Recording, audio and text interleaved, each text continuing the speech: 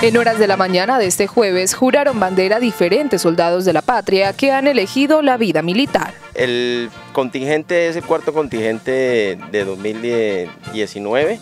Están tomando hoy, hacen juramento de bandera aquí en el Batallón Santander.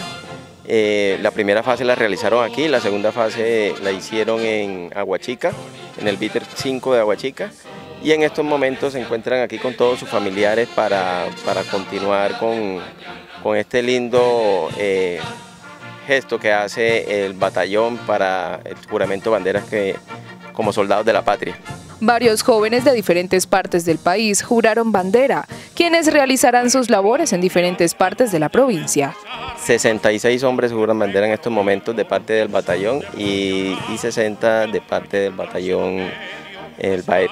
La misión que van a hacer ellos es de control militar de área, eh, más que todo cuidado, eh, protección de la vía, el eje vial que va desde el municipio de Ocaña hasta Cúcuta.